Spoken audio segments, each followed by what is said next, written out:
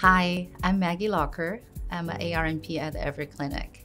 I was a registered nurse for over 10 years before I became a, a nurse practitioner. That experience really helped shape, I think, the kind of provider I am, and really helped me connect with patients and communicate with them and really understand where they're coming from and provide them with genuine compassionate care. So we see patients of all ages, from children to up to elderly, and uh, all kinds of conditions. So you never know what you walk into when you go into the exam room, and that's always exciting. I think you never get bored in the primary care settings. That's um, definitely one of the reasons I wanted to do the primary care.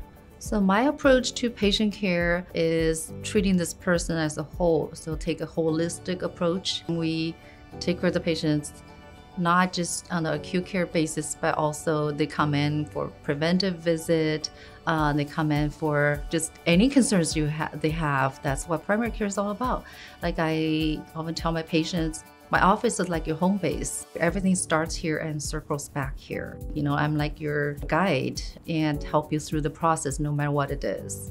So I choose to practice at Everett Clinic because of the patient-centered culture. Patient uh, safety and their well-being should always be the priority. We try to do the right thing for each and every patient.